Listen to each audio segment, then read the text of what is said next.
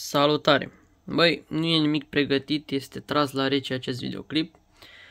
Vreau să arăt o bancă de putere, da, o baterie externă, portabilă, destul de măricică cei drept, e imensă ca și mărime, pentru că am tot căutat informații despre ea și nu am găsit mai nimic, pentru că este un model uh, fabricat de cineva mic, nu e ceva de serie mare, eu știu, vreo firmă renumită, au luat acumulatori, au luat cablaj, în fine, ați înțeles ideea. Și modelul este acesta de pe AliExpress, are variantă de 40.000 de mAh și de 20.000, este un pic mai mică la jumătate.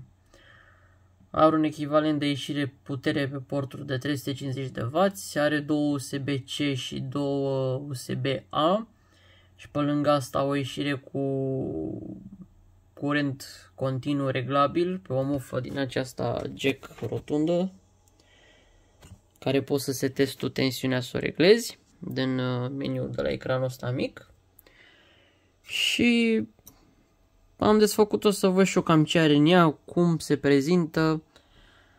Am găsit mici probleme, cum ar fi pe spatele cablajului aici unde sunt sursele, avea acest silicon termoconductibil care imediat l-am dat jos să-i pun așa ceva pe spate pentru a face contact cu carcasa, pentru a transfera căldura, pentru că chestia asta nu transfera nimic, nu atingea spatele de jos al carcasei. Așa. Am dat și acest carton de pe baterii jos, am refăcut lipiturile, nu-mi plăceau deloc cum arătau lipiturile, erau foarte reci, ca să zic așa, la multe vibrații în timp sigur crăpau.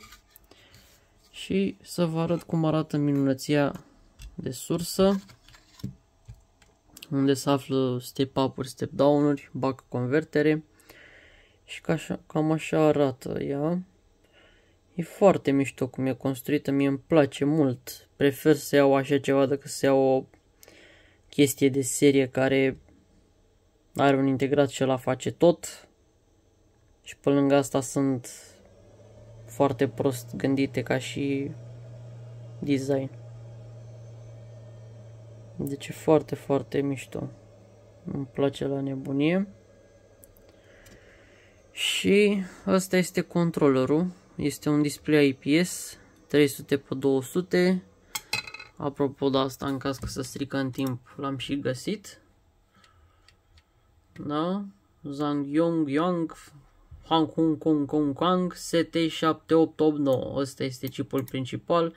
Lucrează pe 8 bits MC8080 și ca și controller avem un STM 32F401 aici placa este desenată de Liang Long. Cine o fi el Văd că are și port de programare aici pentru STM, o să încerc să văd dacă pot să copiez softul să nu fie cumva blocat și ulterior poate cumva cu cineva cu cap mare pătrat reușim cumva să schimbăm uh, niște caractere pe display pentru că nu are versiune în engleză și e ceva nederanjabil oarecum. E vorba despre indicatorii de volți, amperi, tensiune, intrare, ieșire, gen termeni ăștia. În rest, tensiunea ți-o arată cu volți, cu amperi, cu... Doar că e vorba de termeni de intrare, ieșire și așa mai departe, care au pus în, în chineză, pardon. Da, mă, e ok, mie îmi place. Prefer chestii de genul ăsta așa decât ceva de serie. Na.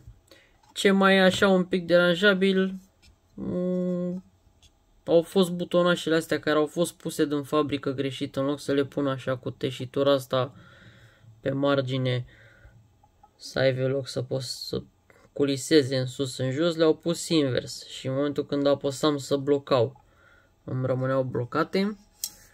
Și na, să vede că e ceva făcut pentru că și sticla asta de plastic, display-ul ăsta, fanta asta, plexiglasul ăsta, e lipit pe margine, e și un pic murdărel, așa să zic, nu e, dar e ceva din el, nu, e, nu se poate șterge ca un încercat. Dar nu, contează puterea. Ca idee, acumulatorii sunt Samsung, sunt originali, verificați. O celulă are 5000 de mAh, fiind câte două în paralel, asta înseamnă 10.000 de mAh, dar sunt în serie 4 grupe. Adică avem un total de 15 V, mă rog 14,8 la 3,7 V. Ei spun că ar fi echivalent la 40.000 de mAh această baterie, dar noi în realitate avem 10.000 de mAh, dar la 15 V. Acum contează raportul care îl folosești tu pentru sursă. Dacă îți ridică tensiunea și tu folosești PDO, da, Power Delivery, să încarci un laptop să-ți ridice la 20 de volți cu, eu știu, 3 amperi, ea îți va trage din acumulatori undeva la 4-5 amperi. Pentru că partea de step-up consumă și ea. Eficacitatea este scăzută. În schimb, dacă faci step-down de la 15 V să încarci un telefon mobil cu 9 V la 2 amperi, să zicem 25 de W putere, îți va face step down, iar atunci eficacitatea de conversie este măricică. Drept urmare, poți să încarci mai mult din acești baterii, din acești acumulatori un telefon decât un laptop, pentru că pe lângă că consumă el mult laptopul, consumă și placa să-ți ridice tensiunea de la 15 V la 20 de V. În fine, sunt calcule, ați înțeles ideea ca idee, ideea ca idee, în fine, v-am zis că e la rece, nu stau să-mi fac text acum, na, poate ajută pe cineva, că și am căutat și nu am găsit nimic, nicio informație.